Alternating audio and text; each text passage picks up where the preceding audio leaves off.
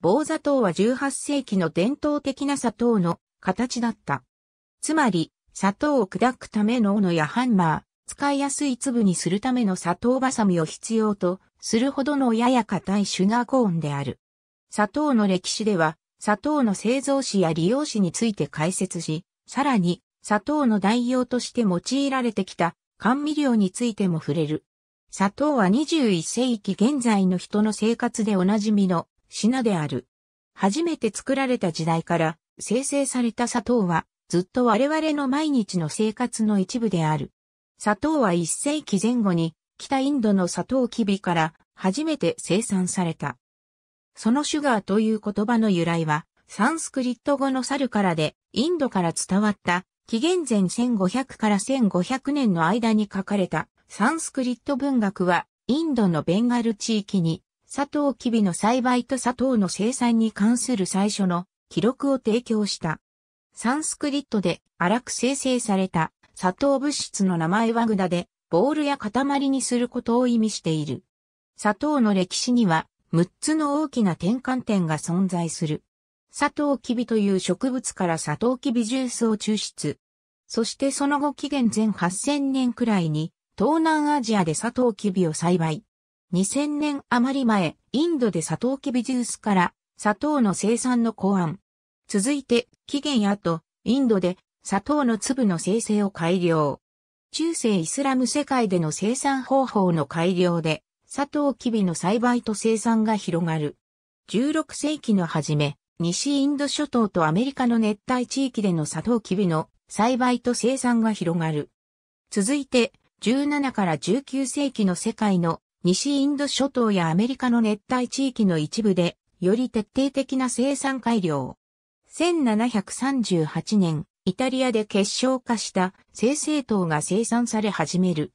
19から20世紀に、天才糖や高果糖、コーンシロップや、その他の甘味料の開発。中世の終わりには、世界中に知られていき、砂糖はとても高価で、ファインスパイスとして考えられていた。しかし、約1500年からは、技術改良と新大陸に供給源ができたことにより、砂糖はより安い商品に変わり始めた。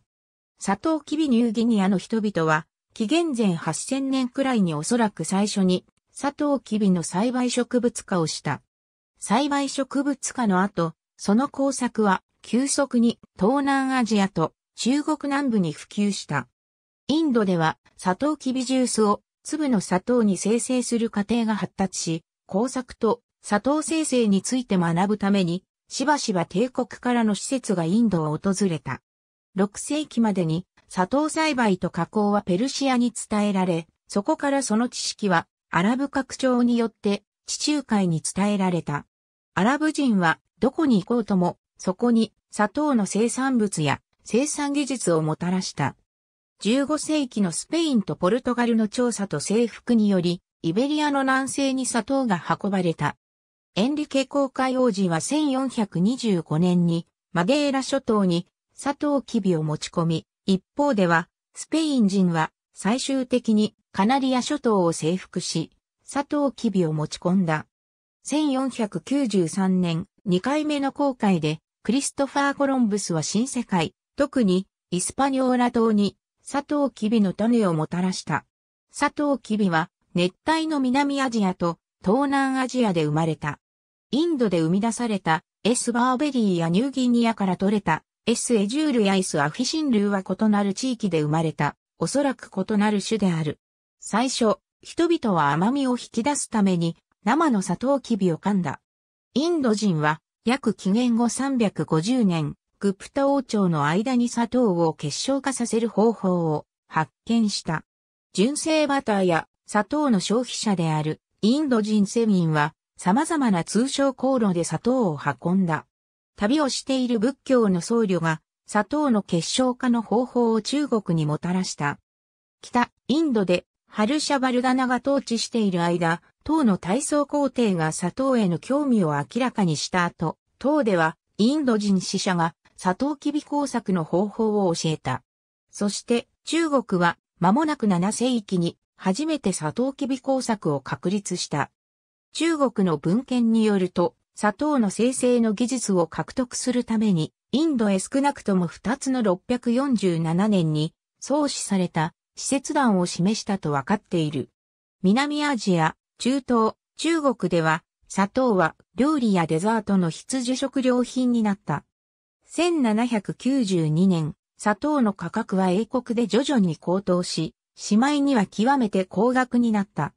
東インド会社は砂糖の価格を下げる手助けするように求められた。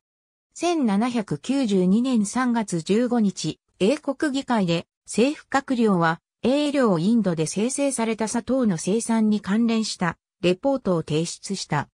ベンガル地方の成立で、J. パターソン注意は生成された砂糖は、西インド諸島の砂糖よりも多くの優れた有利な点があり、かつ、かなり安いので、インドで生産できると報告した。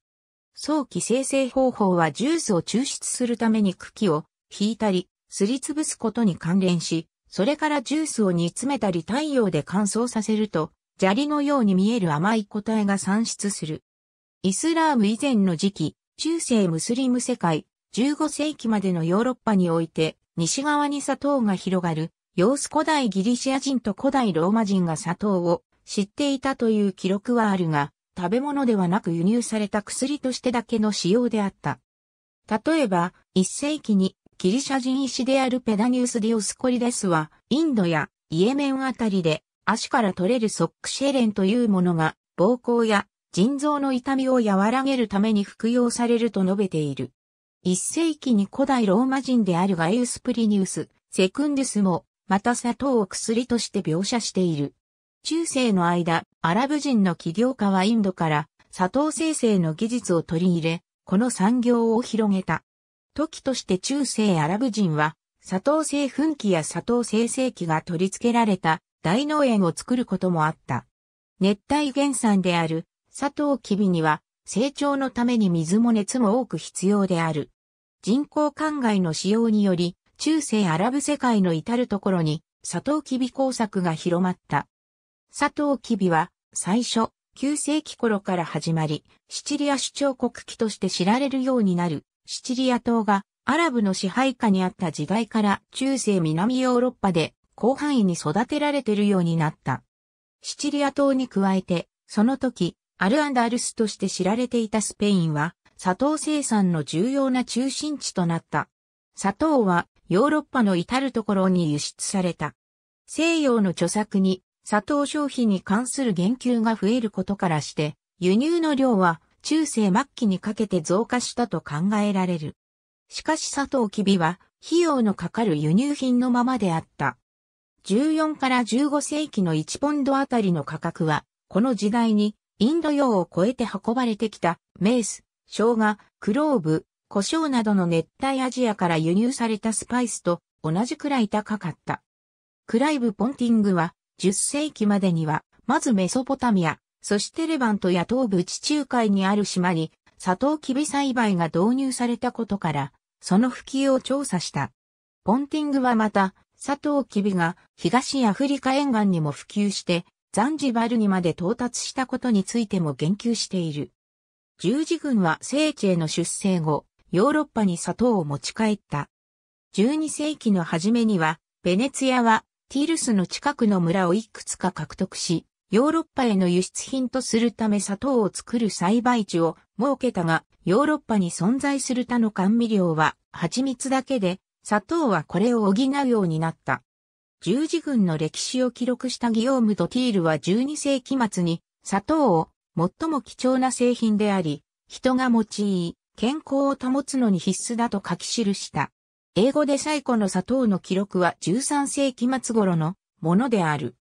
サトウキビ栽培は非常に労働集約的な産業であるため、ヨーロッパの砂糖生産者たちは次第にアフリカから強制的に連れてきた人々による奴隷労働に依存するようになった。1390年代により効率よく砂糖キビの搾充する機械が開発され、アンダルシアやアルガルベの砂糖プランテーションが拡大するようになった。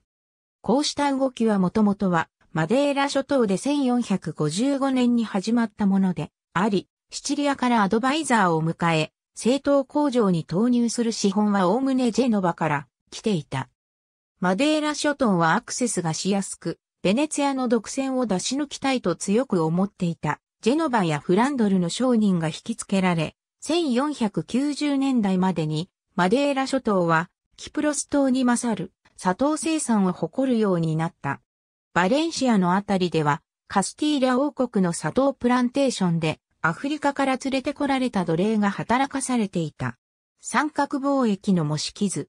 砂糖キビの植え付けと収穫のため、奴隷がカリブの島々に輸入されるようになった。ポルトガルがブラジルに砂糖を持ち込んだ。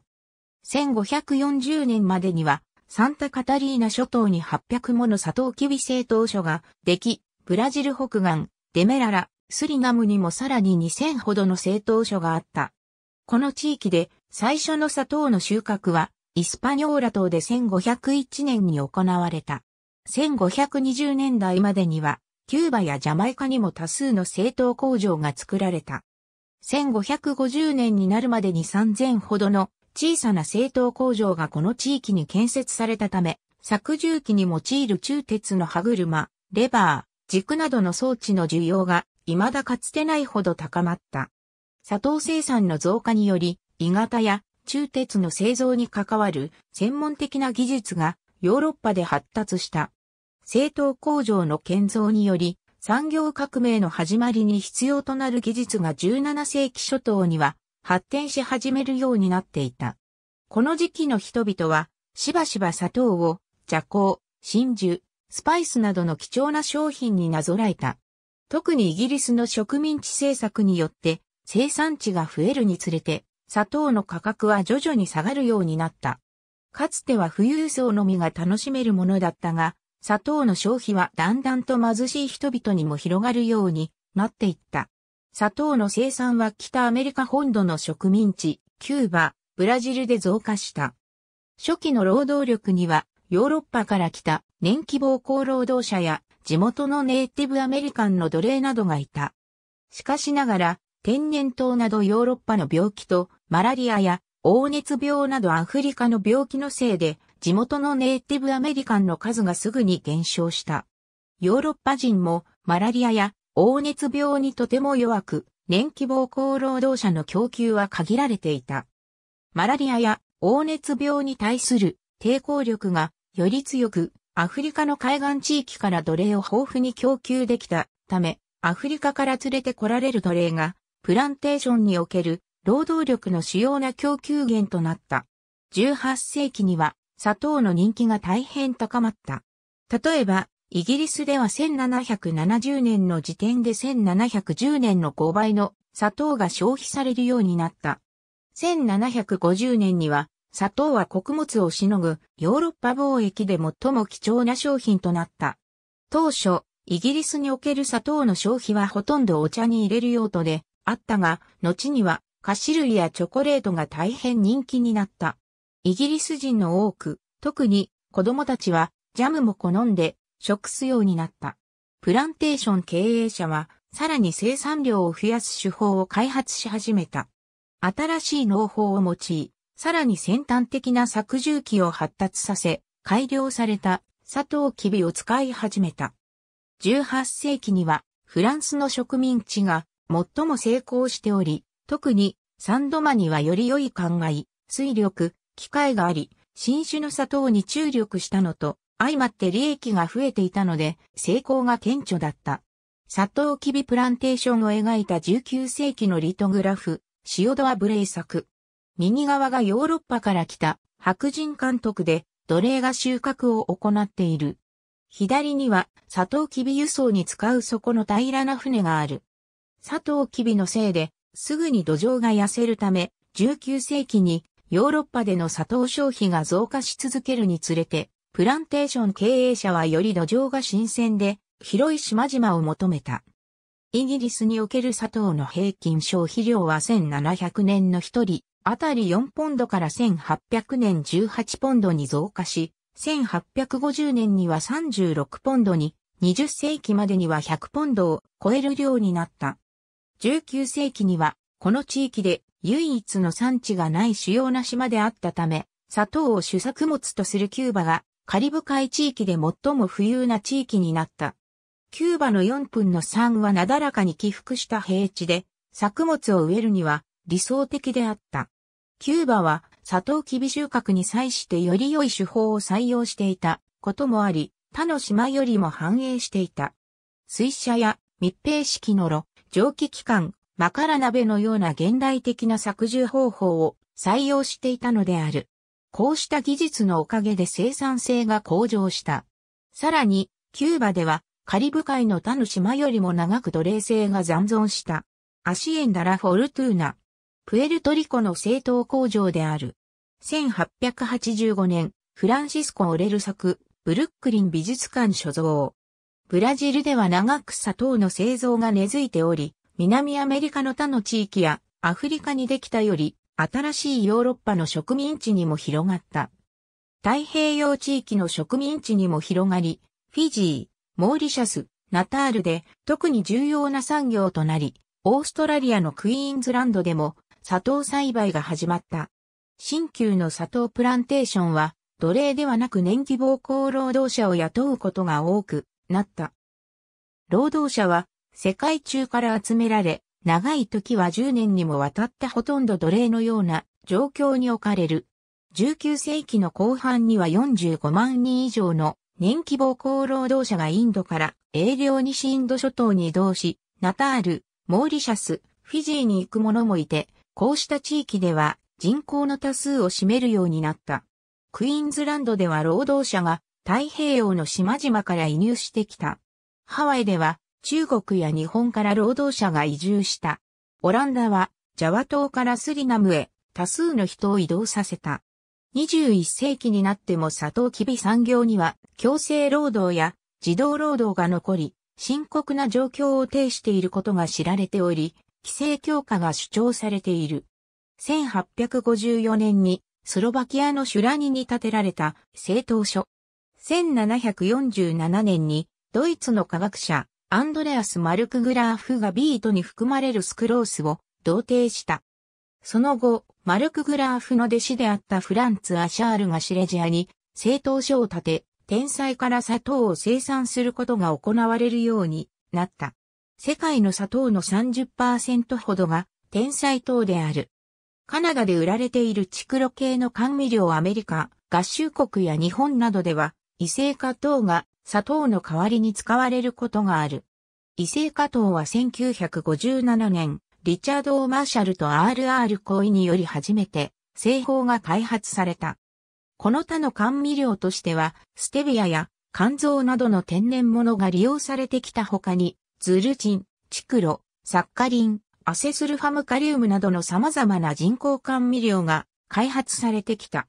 ただし、ズルチンのように後に人に対する毒性が認められて禁止された甘味料も存在する。砂糖とは異なり、エネルギーにならない甘味料も存在するために、例えば糖尿病対策や肥満対策などに、そのような甘味料が砂糖の代わりに用いられる場合がある。ありがとうございます。